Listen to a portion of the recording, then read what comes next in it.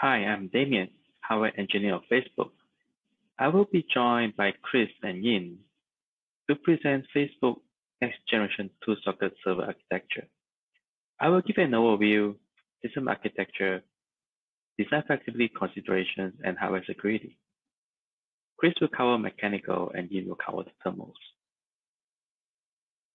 Sonora Pass is a project name of our next generation two-socket server based on Lake CPU. It utilized three OCP accepted solutions, namely ORV2 in a 1OU, full width, full length, two OCP NIC 3.0, small form factor slots, one OCP USB debug port. The design supports up to two PCI full height half length cards. It has one reserved SATA hard disk slot, two USB 3.0 ports, flexibility of inserting up to eight fans, and expansion bay supporting four E1.S 25mm in the flexible side channel, which I'm going to talk more in the later slides. Last but not least, we support hardware platform firmware resiliency.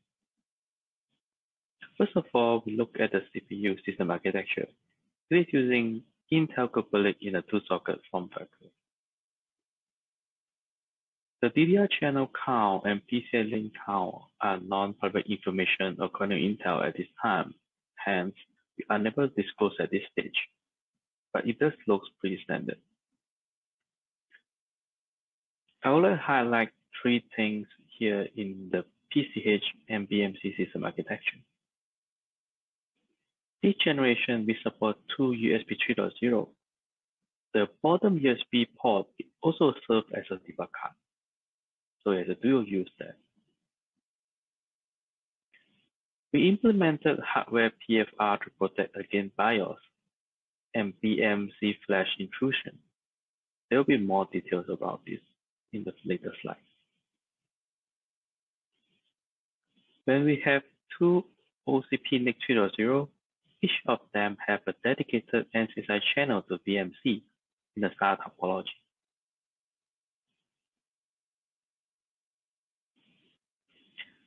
We continue to build our server to be flexible. While Sonora Pass is designed for ORV to rack with 12 input, we also design an add-on converter, which for convert 48 to 12 volts upfront. So it also can be used in the ORV3 rack with minor modification.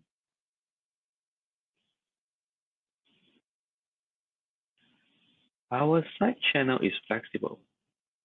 We design it for E1.S 25mm as our initial solution, but it also can be modified to suit your own needs, such as the cable out, E1.L, a different form factor of E1.S, or uh, even the blank. We have seen a third party creating custom solution in terms of a custom cubby to use our Tioga Pass two-socket server in a 19-inch rack. Hence, our current design of Sonora Pass also allows the aftermarket modification to fit our motherboard into a 19-inch chassis. But of course, you don't get all the bells and whistles or the side channel flexibility.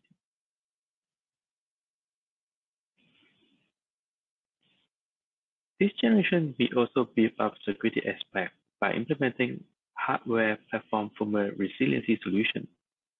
It has three main functions. First, it able to detect intrusion detection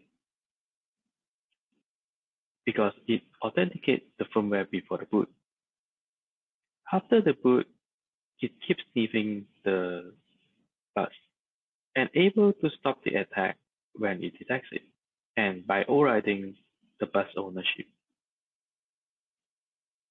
Anytime that it failed authentication, it will perform auto recovery, such as reflashing with known good firmware Let's quickly step through its boot flow in the timing diagram.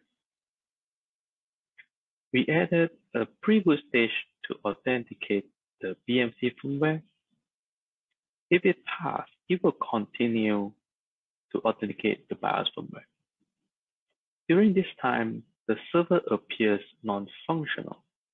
Hence, we added a PFR LED that will be blinking yellow and blue when it's doing the authentication or the recovery process. So we know some activity is happening.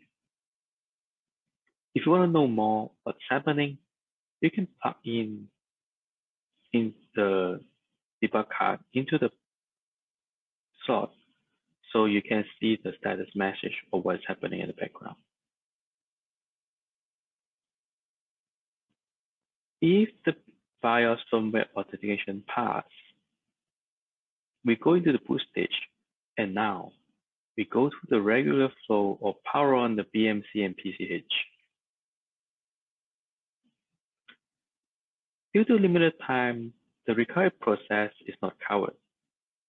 Now I'll pass it to Chris to talk about our mechanical innovations.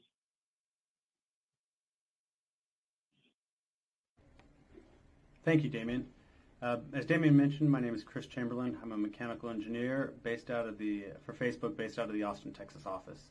Um, I'd like to take a few minutes just to go over some of the mechanical features in this Sonora Pass server.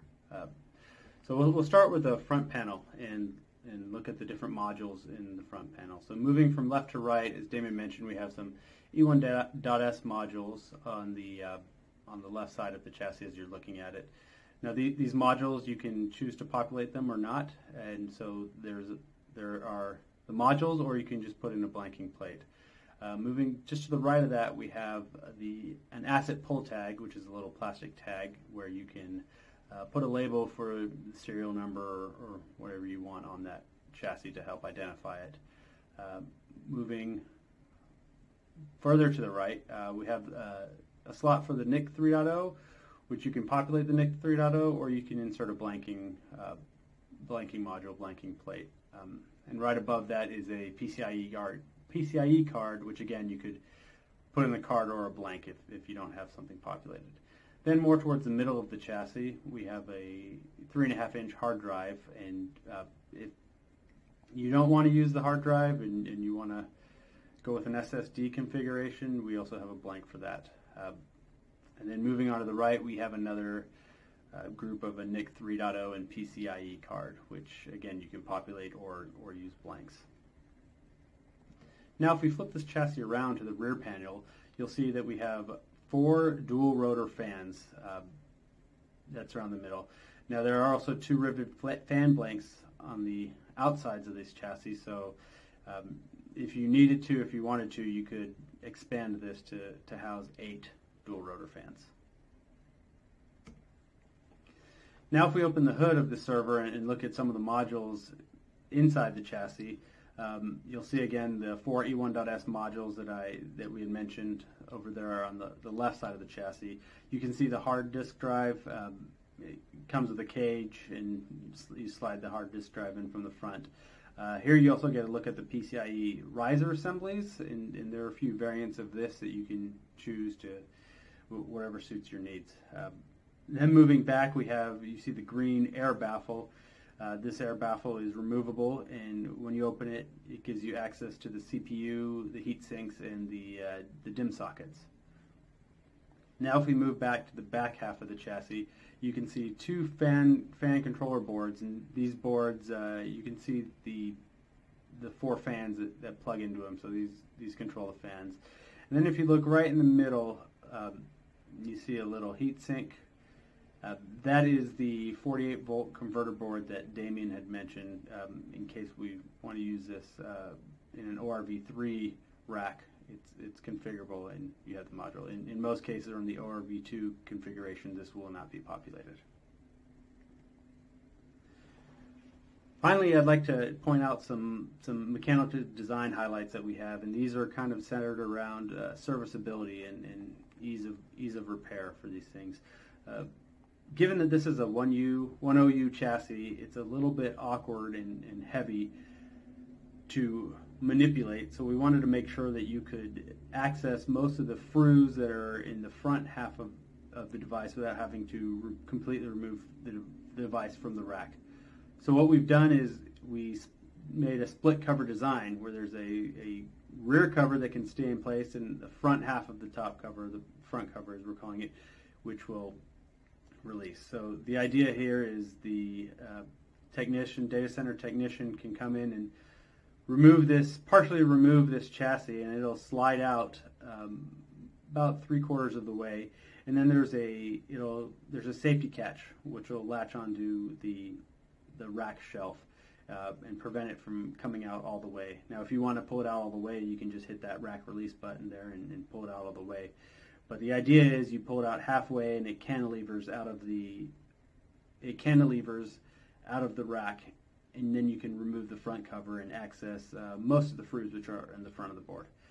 Uh, now, if you need to get any of the FRUs in, in the back side of the in the back half of the chassis, you will have to remove it all the way. But again, you can just remove the the, the back cover, the rear cover. Uh, the split chassis allows us to do this. Uh, then the other design uh, that was put in there to address serviceability is some hot, hot swappable fan modules. So you can see in the picture on the right, there, we have the four fan modules, and they, they, come as they're dual rotor fans, and they're just little modules that, that have a really easy handle and, and thumb latch that you squeeze in and pull it straight out. These are hot swappable from the hot aisle. So uh, the technician can go in there and just, just pull out a fan and, and swap a new one in. Uh, and with that, I can pass this over to Yin to talk about the thermal aspects of this design. Thanks. Hello, everyone. This is Yin. I'm a thermal engineer at Facebook side. Uh, thanks for attending our presentation. Uh, for the next session, also the last session, I will talk about the thermal design. Um, so uh, first of all, I would like to talk about the CPU heatsink data. At the CPU heatsink data, I would like to cover two portions. First is the efforts we made to uh, enhance the heatsink structure, and also the efforts we made to improve the thermal performance. On the enhancement of the heatsink, uh, heatsink structure, uh, we included the two ribs on the base and integrated fins on the side. And we also reduce the two layers of the heat pipe to be one layer. Uh, with all these changes, we are trying to uh, increase the heatsink base stiffness. And also uh, by using these changes, we are able to pass the 500 hour 160 degrees C high temperature reliability test. And we did not see the fin delamination issue happen again uh, which was uh, found in our original design.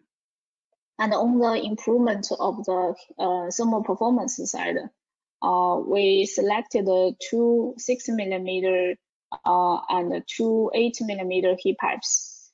And we also included the remote fin design into the heatsink. Uh, both of the fin pitches on the remote fin, remote heatsink and the main heatsink are optimized uh, and also uh, we cut out the center portion of the remote fin uh, and lower the heat pipe height to allow more fresh air and uh, fresh air going through the uh, remote fin and directly to the main heatsink.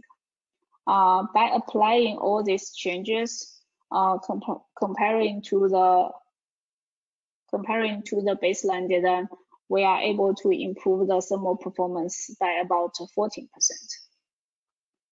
And for the next portion, I would also talk about some fan cage design modifications we made in this platform.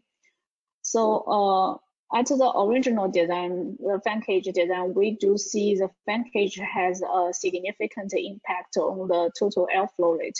So we're trying to uh, mitigate this uh, impact to the whole, whole system. So we made some modifications on the fan cage. Uh, first of all, we used an in-box fan guard design to increase the opening ratio. And we also include a tunnel design at the outlet of the fan to improve the air organization. And finally, we used a curved fan connector design to reduce the back pressure. by combining, combining all these improvements, uh, we are able to reduce the fan cage impact on the total airflow rate from 18% to 5%. So uh, for the whole platform, we also include some air buffers. So um, different air buffers has been used in the system, which can be used, uh, which can help to optimize the thermal performance and minimize the air bypass. So some types of the air buffer are shown here. So uh, for example, like the main air buffer to uh, optimize, optimize the airflow going through the CPU and the DIMM arrays, and the NIC air buffer um, to allow more air directly going through the NIC. And also the dummy DIMMs uh, when the DIMM is not populated. Uh, and also the NIC air blocker when NIC is not installed. So thanks for attending our presentation. And uh, uh, please join the rest of the presentations in the server book. Thanks everyone.